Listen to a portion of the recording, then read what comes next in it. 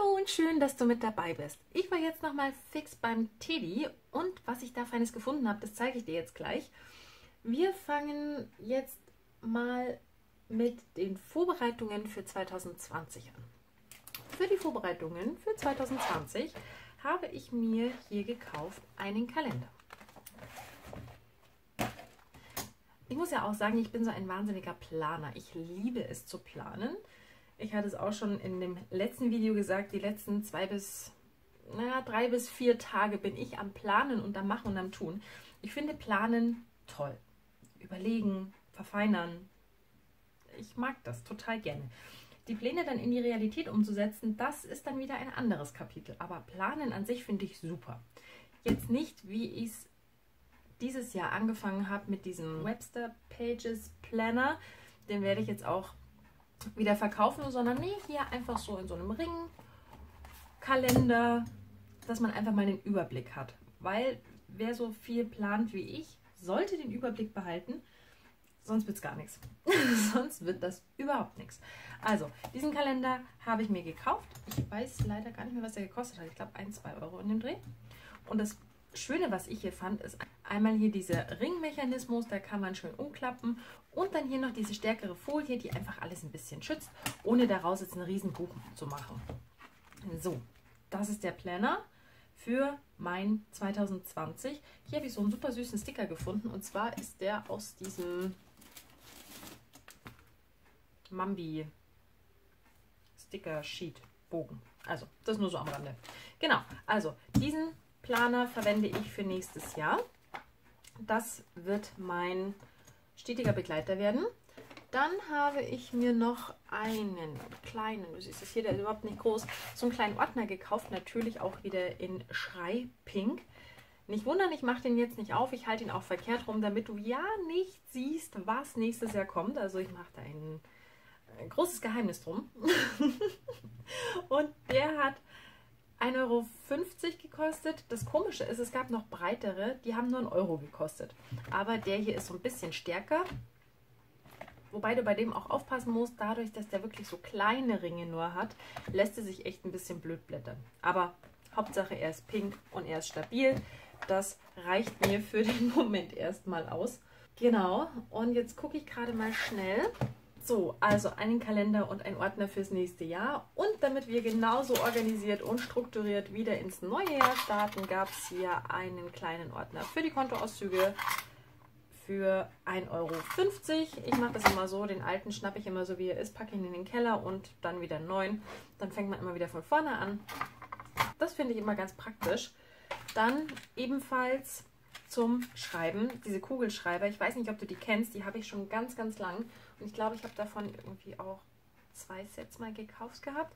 Die sind von der Haptik her so schön. Die sind irgendwie weich und die schreiben richtig gut. Also die schreiben so gut.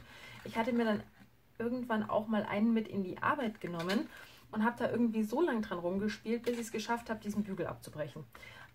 Und dann schlussendlich ging er nicht mehr. Dann habe ich in meinem ganzen Sammelsurium nach einer passenden Patrone gesucht aber habe dann auch keine gefunden. Und für 50 Cent das Stück, also 1 Euro, kann man überhaupt nichts falsch machen. Wie gesagt, die Haptik allein ist der Wahnsinn. Dann ebenfalls zum munteren Planen für 2020 habe ich mir hier diese sechs Page Marker gekauft. 1 Euro haben die gekostet. Es gibt davon noch andere und zwar so ganz schmale. Jetzt war ich gerade am Schauen, die hatte ich nämlich auch mal, aber die halten überhaupt nicht. Deswegen habe ich mir jetzt hier mal diese breiteren geholt. Und was ich jetzt so sagen kann, halten sie sehr gut. Das wird sie natürlich dann zeigen im täglichen Einsatz auf, zu, hin, her, ob das dann immer noch hält. Aber allein vom Beschriften, das ging auch sehr gut mit dem Kugelschreiber, hinkleben hält es. Schauen wir mal. So im Anbetracht auf anstehende, nennen wir es Aktionen, brauchte ich wieder ein bisschen Klebeband. Demnach durfte es hier das transparente Klebeband für einen Euro auf dem Teddy sein. Das sind 48 mm mal 48 Meter. Das klebt, finde ich, sehr gut und dadurch, dass es durchsichtig ist, kannst du es auch über sämtliche Versandaufkleber drüber kleben. Da kann man immer noch super durchschauen. Demnach mag ich das Durchsichtige immer einen Tacken mehr als dieses normale braune Klebeband. Dann brauchte ich jetzt auch mal wieder ein neues Tuch zum Stempelreinigen. Das da hier habe ich dir mal gezeigt. Das sieht jetzt gar nicht so dramatisch aus, kann auch daran liegen, dass es grau ist, aber es fängt an zu fusseln. Und deswegen habe ich mir gedacht, okay, das kommt jetzt weg. Und jetzt kaufe ich mir mal ein anderes, und zwar eins, was hier so ein bisschen dünner ist. So, hier, das ist so ein bisschen dünner. Das ist eigentlich ein Bodentuch für 1,50 aber ich denke, das klappt für Stempel auch ganz wunderbar. Demnach habe ich mir das mal mitgenommen. Mal gucken, wie das ist weil, wie gesagt, das andere fängt mit der Zeit das Fusseln an. Da muss ich tatsächlich sagen, das, was ich mal vom Action hatte, das war besser. Das hat nie gefusselt, das war nur irgendwann so voller Farbe, dass die Hände dann bunt waren. Also schauen wir mal. Und ansonsten gibt es halt wieder für, weiß ich nicht, 40, 60 Cent das vom Action.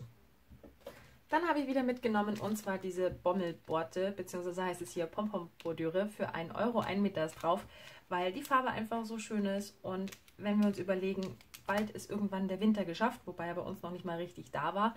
Und wir gehen in den Frühling und Mint geht im Frühling immer. Demnach noch einmal das. Dann habe ich dir in meinem Favoritenvideo gezeigt, zweimal Elastikkordel, drei Meter sind drauf, einmal in schwarz, einmal in weiß für jeweils 55 Cent. Dann ebenfalls aus dem Favoritenvideo dieses Satin-Band bzw. Schmuckband, 5 Meter sind drauf für 75 Cent, weil das bei mir einfach immer alle ist, weil ich mache damit einfach viel zu viel.